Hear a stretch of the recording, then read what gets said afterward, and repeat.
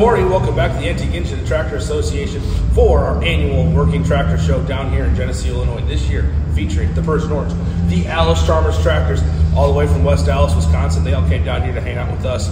We are first going to talk about this Allis Chalmers Jeep. This is um, owned by Jason Heather Shanks out of Morrison, Illinois. Really cool little tractors that these were. They were designed to have the implement sit in front of the operator, so they're great. I mean, set up right now, the full finger on great for that setup where you had everything you know right in front of you. You weren't obstructed because the motor's actually behind you. That's why you have a big weight up here because uh, these things are pretty small. You can, you know, you and a couple buddies can pick these things up and throw them in the back of a truck. Um, but great to see this one. They just got this thing all done and restored. It's absolutely gorgeous. Hopefully, we might see this one run a little bit later. But as you can see, we've got some pretty cool stuff in our shed. Um, we've got a couple old rarities. We've got a UC. That is the second serial number. It's also the first three bottom tractor that was ever in Knox County. So if you were in Knox County in the 30s, you didn't have a three bottom tractor until you were that guy. Also, it's been owned by the same family since 1932. So coming up on century of ownership. I think it might have paid for itself at this point. Um, some other cool Allis's, actually, we're going to come over to this one right here, to this 1919 612. Now, if this looks similar, this, this does kind of look like those Minneapolis we talked about before. It's that same concept where you have the implement. This had a motor hunt out the front, but you had your implement. We obviously we just bring you in for a closer look on that. But we got tons of cool orange tractors to check out. We'll keep bringing you along, and we'll also go out in the field, check some of that out. Don't forget we are really live streaming both days of parade, so come check that out as well. And uh, we'll check out some more orange tractors. There's some, there's some cool stuff.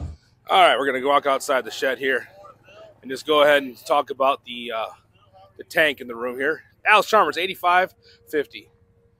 Powered by 731 cubic inches of Allis power. She's got the big old B pump on her. She's ready to rock and roll. This thing, uh, I was actually at our show last year. One of the biggest Allis, truly branded Allis tractors they made. From 78 to 81, I believe. Kind of the biggest line in that the, accumulation of that 7,000 and 8,000 series with the same kind of hood stylings and with that uh, famous curved down nose that they had. This is actually a pretty cool example of it.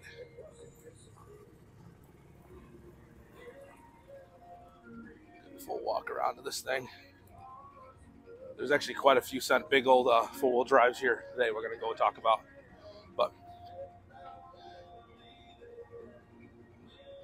All right, we got some smaller ones. Actually, a little uh, RC down there is running. We got a, a, CA there and a Series 4 D14 or D15, excuse me, D17. Wow, wow, I'm really out of it. Anyway, but I was talking to my buddy, Mr. Temple over here. He actually puts on that Dutch Days show. And if you're longtime viewers of the channel, remember this tractor from back a couple years ago, back at Dutch Days. This is the WD that shouldn't exist. This essentially was a demonstrator tractor and uh, it was supposed to go back to Wisconsin, supposed to go back to West Allis, and um, meet the fate with the cutting torch. But somehow it slipped through the cracks. I don't know what paperwork happened, but either way, they ended up with it. Kurt Temple's father ended up with it, farmed it for many years. It sat for about 30 years, and he started to restore. it. He was just showing me some of the pictures. Absolutely, this thing was down to there was no rubber on the tires. You could you could reach your hand through the rims. It made my 1550 rims look brand new took it all the way down, completely rebuilt it, and uh, made an absolutely beautiful tractor. We, like I said, we've seen this one out before, but I know he's going to bring this thing out for the big Allis show here. Now, we're talking about Allis's and how they were unique was they were big fans of planetary gears, the final drives. So what it, what it gave you was a very high clearance. You know, you get a little high clearance, and you could run a little bit smaller tire but that's just like kind of like on some on some what some tractors did for their high crops. It's kind of what Allis did for everything. You can see on this uh, on this little D12 here, same way, 29 horsepower tractor had little baby ones. So it's kind of what Allis did. It kept that rear end up in the air a little bit, kind of gave you a lower profile for the whole tractor, and um, really was a very popular option. And obviously we got the big industrial D21 back there. Another D21. Another Allis over here. We'll come check this one out. It's an early four-wheel drive, I believe. Yeah, this is a 440. It's powered by the Cummins.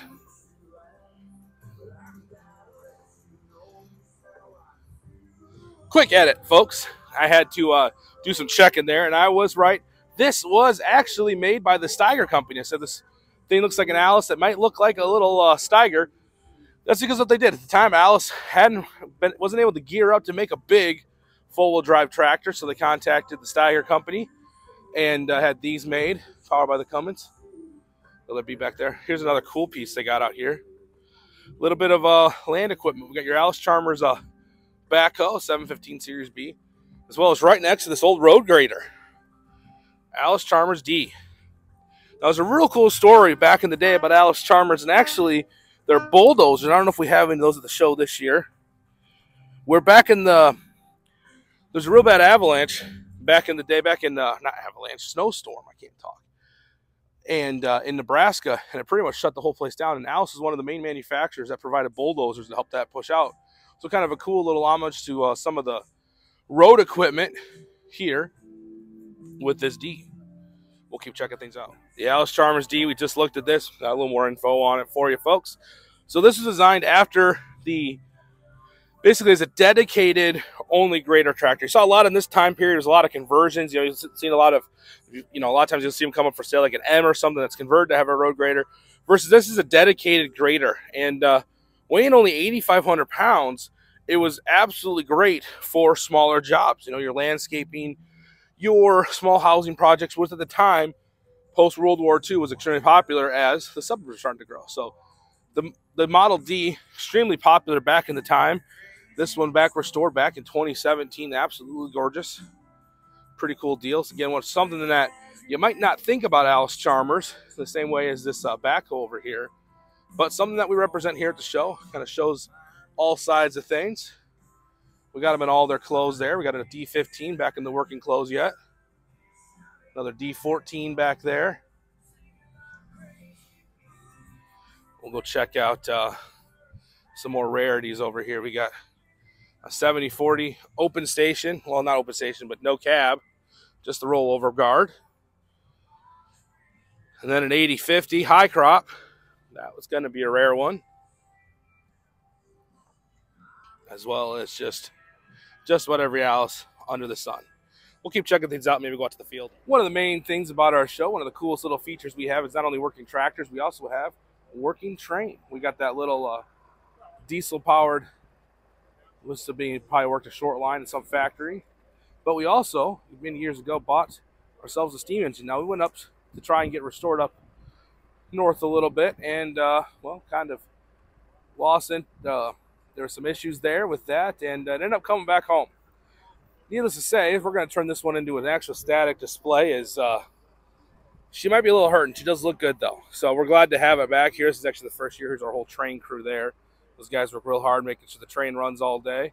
So they got this thing kind of popped out to kind of show it off this year. Now that it's back at home, like I said, I think they're going to turn it into a display. Might maybe eventually be able to pull it around, but it won't be uh, powered pretty cool old train. It's a quarter unit, uh, so it would have been used on smaller lines. Like, you know, if you, a lot of times, like the old steel mills would have used something smaller like that. A lot of factories to shuttle stuff around. That's a lot of the short, uh, they call it, you know, narrow gauge is what they called it, actually. Would have been used for. So that's what this would have probably come out of. So it'll enjoy retirement here with us, like many tractors do. We'll keep wandering around. Tons of orange. Tons of tractors are still rolling in here on Friday field work's going to be coming up soon. Who knows? Maybe I'll try and ride that thing later.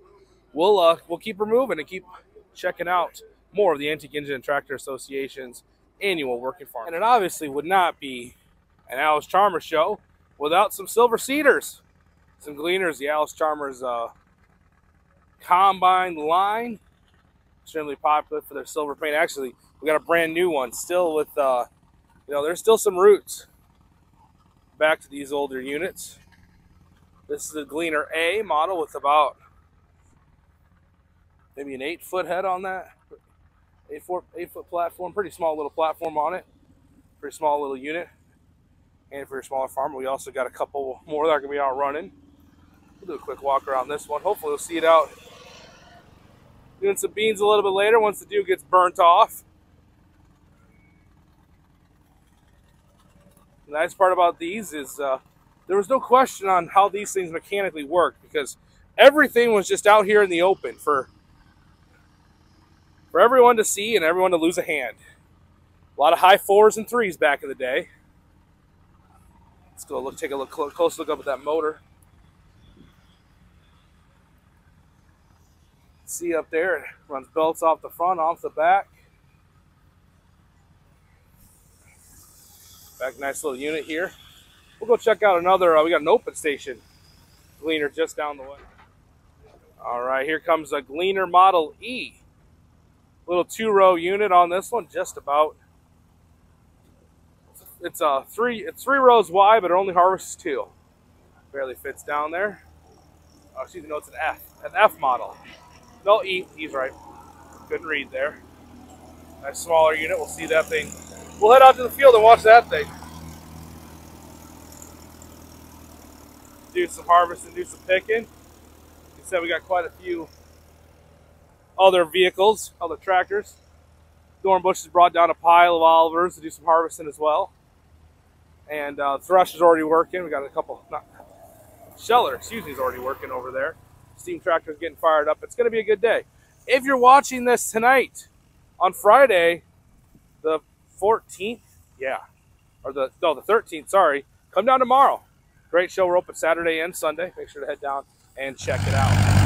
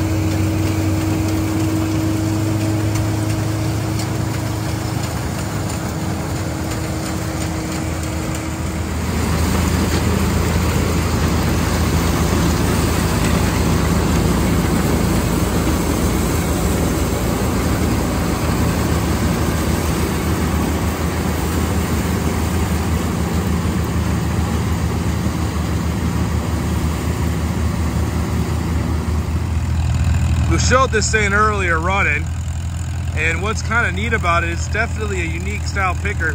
Most of the time, you'd have your auger go right out the back, and then you'd drag your wagon behind you. But this had this contraption that you would end up, uh, it would go next to you. Now the advantage was, when you went to unload your wagon, you could just back your tractor right up next to it, and you wouldn't have to unhook from the back. It was probably convenient that way. The disadvantage was it took up 12 acres to turn this thing around. And to try and to open up a field with this would take you half the day. But again, it was a unique setup. Obviously, you didn't see a lot of it, so the success rate could probably be stated in that statement. But pretty cool to see this out here. Like I said, would have been back in the day, would have been a lot faster just to, you know, back your tractor up and go. But a lot of farmers only had the one tractor, so that didn't probably save them much time. But pretty cool piece here, Minneapolis Moline picker unit. And uh,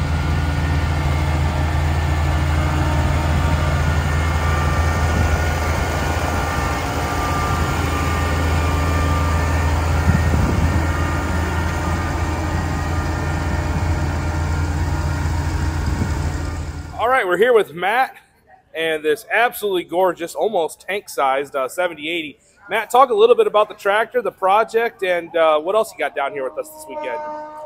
Uh, this one's a 78, 7080, one we've been working on several years. I believe back in 16 we got started with it, uh, with all the mechanical parts of it. And, uh, took us some years here and there as you get time, and then here this year we put a real heavy effort into getting it done uh, Rhonda Paul, a friend of mine, passed away here uh, maybe a month ago, and Jeff and Sandy and several people that uh, Travis Post and others we worked on it trying to get it done.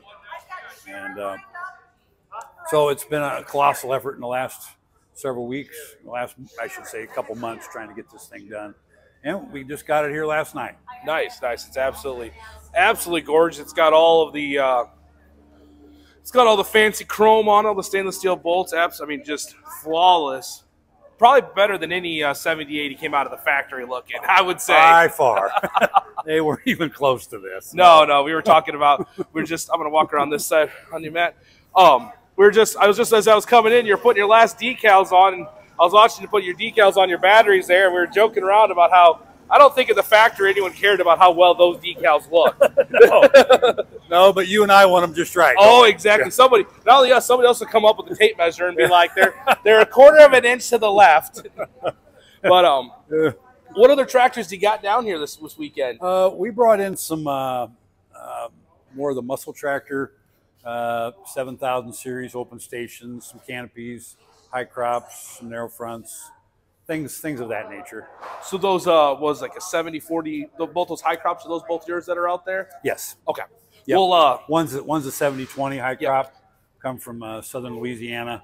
The other one come from Plaquemine, Louisiana, right off the farm down there. Nice. And they wanted to see it the way they come, pretty rough, mm-hmm. sitting in the salt air and uh, and outside in humidity, so they get to be pretty rough shape. So that was part of the idea nice. of bringing that one down. Perfect. I think we saw that one a little bit earlier. Well, Matt, I know you got some errands to run. We'll see this one run probably in the parade today. We'll yes, watch sir. it on the live stream, and as well as get some other footage. Thanks again for coming, and we uh, hope to see you at the next one. Thank you, sir. Here's that 7020 that Matt was just talking about. Came out of Louisiana. We'll show you that 7040 in a second. High crop. So we always talk about how the different manufacturers did the high crop. And this was just like the standard, but big portal axle. Get in there, take a look at that. that's how you would have gotten all the extra height out of it. Very popular down south for how they farm down there, down Louisiana. We'll go check out that 7040 quick. Here's Matt's other high crop. This one is exactly how it came out of the farm down Louisiana. You can see just the years of that salt there, what it'll do to a cab. And so still in the still in its work clothes. We'll go to the back and check this out. like I said, probably I'm guessing this one's going to go through and get just as purdied up as the other ones. Unique how they did their hitch here. Kind of extra strength coming up to that where the third member would have been for the three point. Strengthen that up a little bit, a little bit of farmer fix. You can tell by your by your old Lincoln, probably Lincoln welder, the old tombstone fix there. But cool piece here to have. Just something that uh, kind of how it was. It absolutely just piles of orange. as well as a couple big four-wheel drives, a 4 4W305. That would have been the era after that uh, 8550 that we saw earlier. And you can see because for a while, Allis had the hood that slanted like that, and then they got aerodynamic and slanted them back. We'll go check that out. Here's the front display here, two 4W305s. Getting 300 horsepower. That's 731 cubic inches of Allis power. And Matt also owns this one as well. Absolutely gorgeous restoration on this, just like all of his other tractors he's got. You can see the orange hoods all the way down the line there. Down the front row, absolutely gorgeous. We'll keep uh, checking out some more Allis.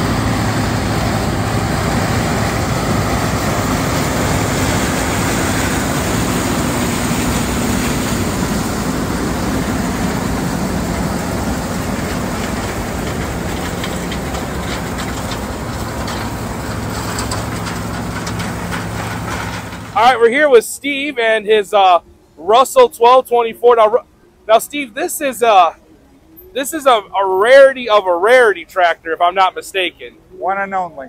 One and only Russell tractor. 1919.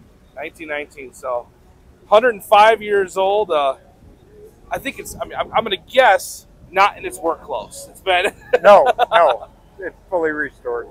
Now, um, tell us a little. You got a little, a little story of why there's only one of one Russell around? Uh, they didn't make a whole lot of them back in the day, and uh, the ones that uh, were left around went uh, to the scrapyard during the war. And mm-hmm.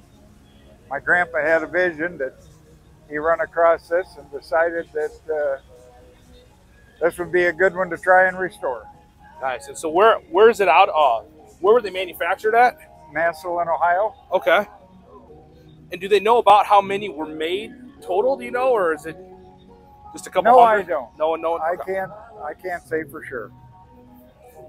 I mean, for 1919, they had a lot of the what a tractor was going to look like traits figured out. Yes, sir. And then they had, you know, you're still borrowing a lot of stuff from your steam tractors with, you know, Chain your steering. chain steering and a center center pivot. So the steering just goes like this. It doesn't, you know, turn Right. individually. So it's takes about a, about, about three acres to get it turned around. Yes, sir. It does.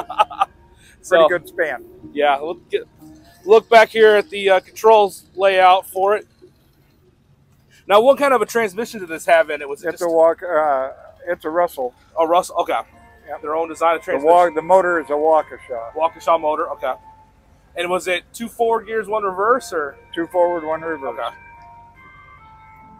Nice. Now, you, will you take this thing in the parade a little bit later today? Yes, sir. Nice. We'll get a video of that. Like I said, we'll have a live stream of that. If you didn't watch it live, go back on the channel and check that out. But Steve, again, thanks for showing off the Russell, one of one tractor. And next year, like we talked about, the orphans and um, kind of tractors, you know, kind of some of the smaller brand stuff, which we're going to feature. So the Russell's definitely going to be uh, one of our pinnacle pieces that we have down here in Geneseo. Again, Steve, thanks for bringing this thing out every year. Well, well, look at this little cutie. Just a little baby 1206. So this one is too small, and oh, that one's just right. Got a full size 1206 next to, I'm guessing, half size, quarter size. But I mean, even down to having the IH weights painted up exactly the same. This is a cool little piece. Looks like it uh might be like Kubota engine in there. Let's take a look maybe on the other side. We might be able to get some more subtle clues to what's powering this thing. Does appear to be two cylinder variety. So maybe it's a third scale, you know, three two cylinders versus six. But I mean, even down to small weights there versus the full size weights, absolutely cool piece. Parked next to each other here at the Antique Engine Tractor Association. While we're checking out some of the on non-Allis tractors, look at this Ford 9000 parked a well, it's sort of version of a half scale that little utility 3600 the 9000 series, the 9600, some of the coolest looking Ford tractors to come out in their muscle tractor era. Fun story about those. It's very sure everyone's probably heard it a bunch. When Ford licensed to have their tractors made, one of their stipulations was they wanted their tractors to be made in 1 12th scale, not 1 16th like everybody else, which meant they looked bigger.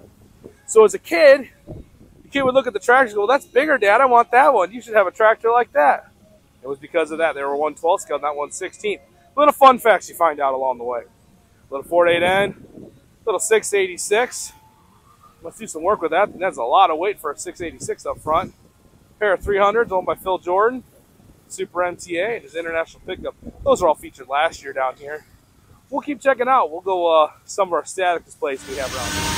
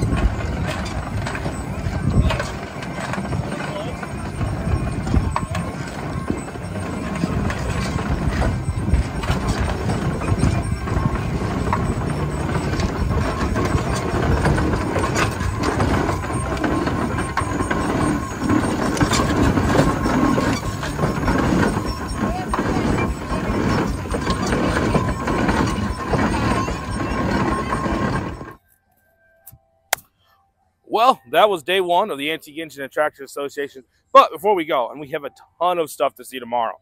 We haven't looked at probably half of the stuff today. We just got a little bit of field work we got done. Did a little bit of beans. Um, they're turned out really good from the guys I was talking to come out of the field, but tomorrow we'll do even more of it. But we got this D21 here, and I'm not an Allis expert if you guys have figured that out already. Might be one of the lesser known tractors I'm a I know a lot about. I know just a little. But this obviously doesn't look like a regular D21. They should probably look more like that one over there. It's maybe not in the white color. This is actually one of the prototype D21s. So this had a lot of D19-ish parts in, obviously with your grill. It's just a wider grill. You know, it's got the you know it's got the same motor as what D21 would have had Series One, but um, you know something they probably slapped together engineering wise to test it out, see what the platform would do before they went with the whole new facelift, and obviously realizing that when you make this grill this wide, it looks well. It's a look that only a mother could love, is what I would probably say about that. Versus the D21, which chef's kiss. So that is uh, just a cool tractor and stuff that you get to see here at the Antique Engine and Tractor Association show. There's super rare stuff. We got some more stuff to check out tomorrow as well. So make sure hit the like, hit the subscribe, drop a comment, tell us what what was your favorite part of the show. What did I miss that you're mad at that I missed about? What fact was I wrong on? Probably lots of them. That's true. But uh, we'll see you on the next one, which will be tomorrow. Uh, make sure to like and subscribe too, because we'll be going live for the parade at one o'clock. Um, watch that. You can see all these tractors drive along the road. It's kind of fun.